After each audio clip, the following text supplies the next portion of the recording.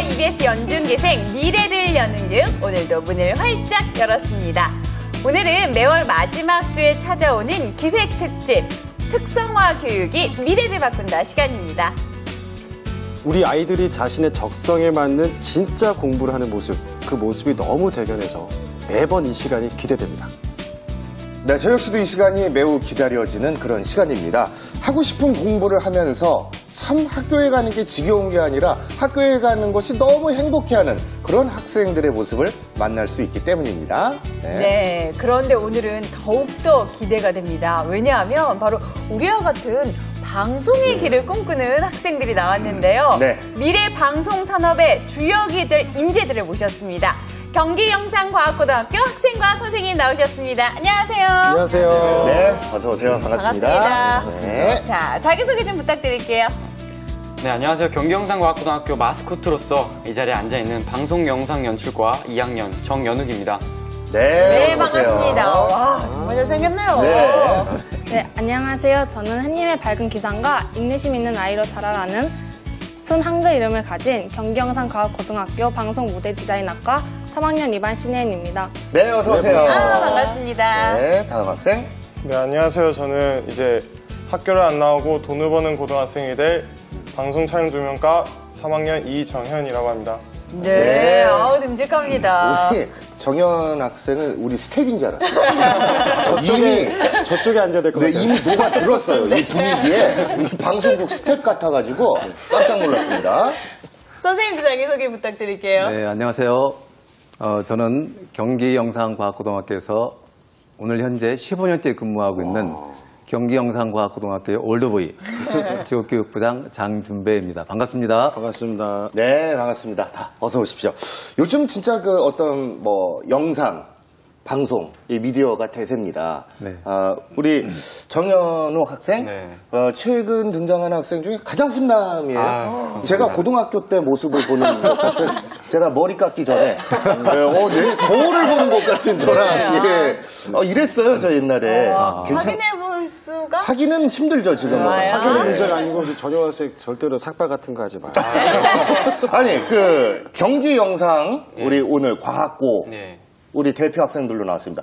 학교 소개 좀 부탁드릴게요. 어디에 있고 어떤 학교인지요? 어, 네, 저희 경기영상과학고등학교는요, 어, 고양시 일산의 일산 서구의 호수공원 앞에 위치한 학교고요.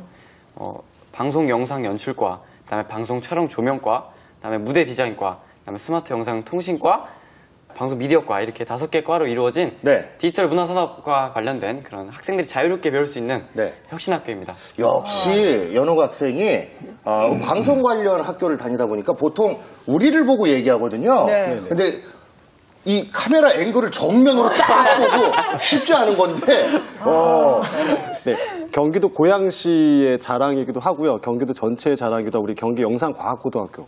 그 선생님 언제부터 이렇게 방송 인재, 방송 인력을 어, 이렇게 교육시키게 되었습니까? 네, 어, 우리 경기영상과학고등학교는 어, 고양시에 위치하고 있으며 1997년 개교를 했습니다.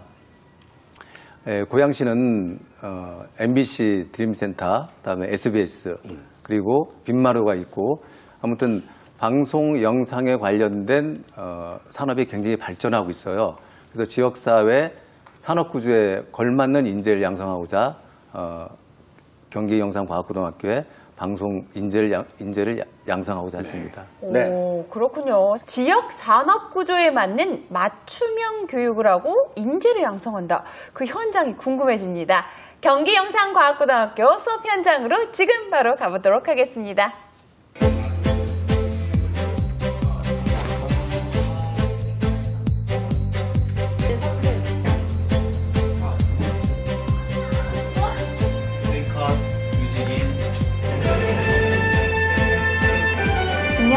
안녕하십니까. 경기영상과학고등학교 뉴스 김민지 김찬호 아나운서입니다.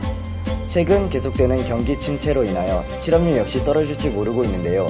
이러한 상황에서도 현장 경험을 바탕으로 높은 취업률을 기록하고 있는 동아리가 있다고 하여서 만나러 가보겠습니다.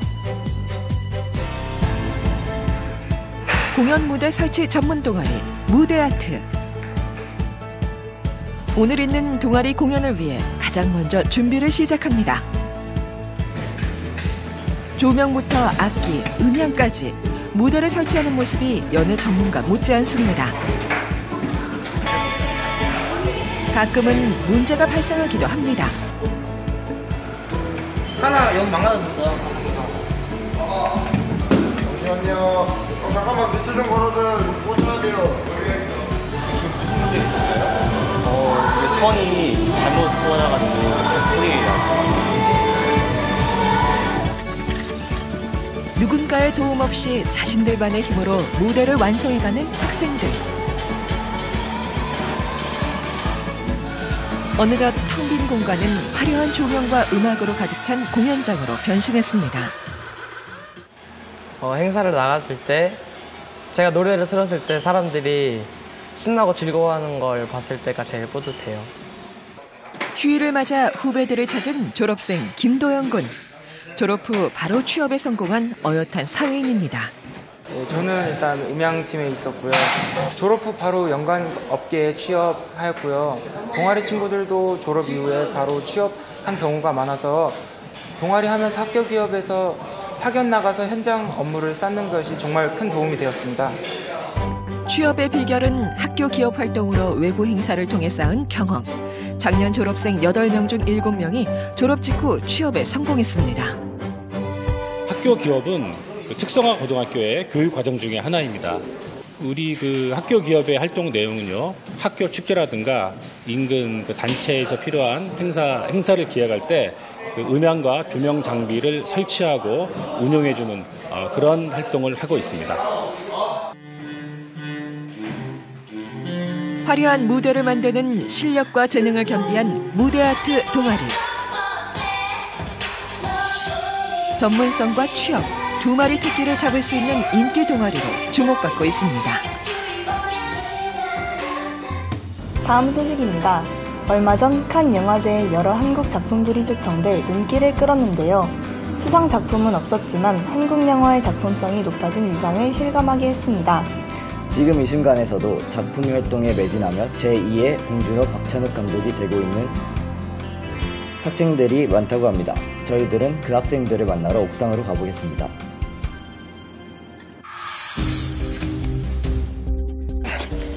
학교 옥상에서 때 아닌 난투극이 벌어졌습니다.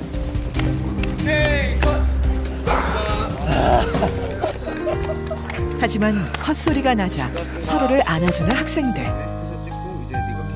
난투극의 주인공은 단편 영화를 촬영 중인 학생들입니다. 네, 지금 무슨 촬영 중이에요? 어, 저희 학교폭력 어, 단편영화 촬영하고 있습니다. 어, 이번에 네 번째 작품입니다.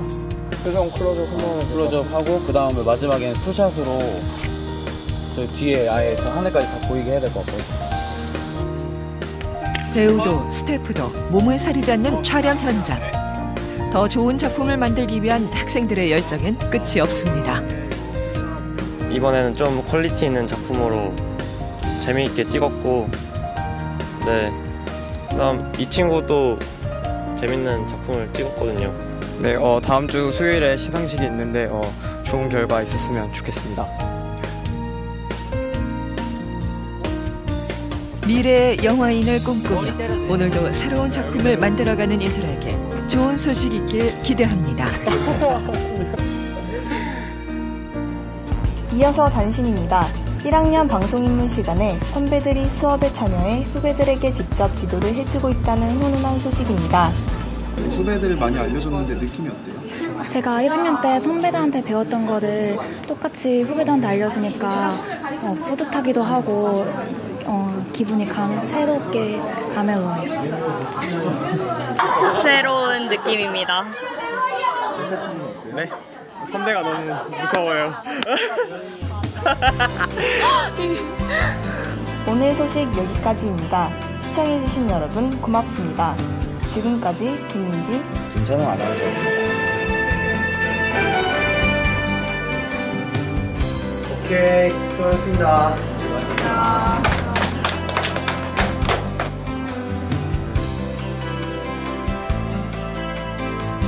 각자의 분야에서 최고를 그리며 꿈을 현실로 만들어가는 합격.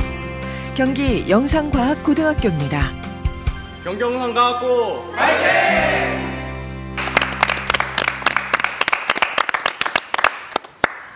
와, 영화 제작은 물론이고요.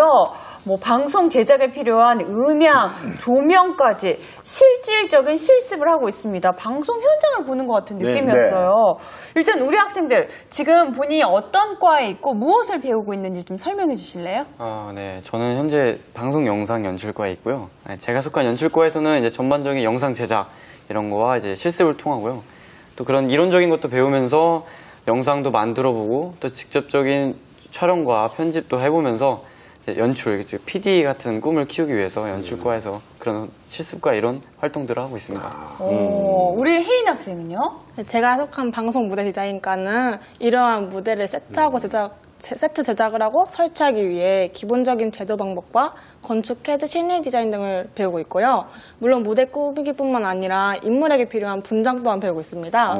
하지만 영상 편집, 아, 영상 관련 학교다 보니까 영상 편집에 걸맞는 실습 또한 하고 있습니다. 오, 무대 디자인과를 네. 소개해 줬고요. 오늘 방송국 왔을 때 굉장히 좀 신기했을 것 같아요. 네, 무대 제가 생각해 본 게 막 이렇게 보이니까 네. 어, 좀 꿈에 가까이 다가가는 기분인 것 같아요. 어쨌든 우리- 열심히 쳐다봤어요. 어, 우리 프로그램 어떤 것 같아요, 이 무대가?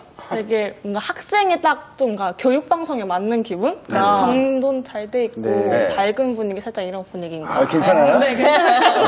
네, 고마워요. 네, 좋네요. 네. 자, 다음 정현 학생은요? 어, 제가 속한 촬영 조명과는요, 이렇게 카메라들에 좀 가깝게 지내기 위해서 제일 가까운 카메라는 스마트폰부터 시작해가지고 이렇게 DSLR까지 하면서 교육 과정이 있는데요. 그리고 또 이제 조명, 그리고 음향인 영상에 필요한 부수적인 감각 들도 같이 교육을 하고 있습니다. 네. 자, 이렇게 방송 촬영 조명과 무대 디자인과 영상 연출과 세 과를 좀 소개해 줬는데 나머지는 우리 선생님께서 소개해 주시죠. 네, 지금 우리 학생들이 소개한 세 과 이외에 방송 미디어과와 어, 스마트 영상 통신과가 있습니다. 네. 어, 방송 미디어과는 어, 애니메이션, 그다음에 영화의 그 CG 효과, 그다음에 특수 효과를 통해서 영상 콘텐츠를 제작하는 학과고요. 그다음에 스마트 영상 통신과는 어, 요즘 각광받고 있는 스마트 앱 아시죠? 네. 네. 어, 스마트 앱 애플리케이션 프로그램을 통해서 어, 자기가 만든 영상 작품을 거기다 올리고 송출한 그러한 학과라고 얘기할 수 있습니다. 이게 사실 그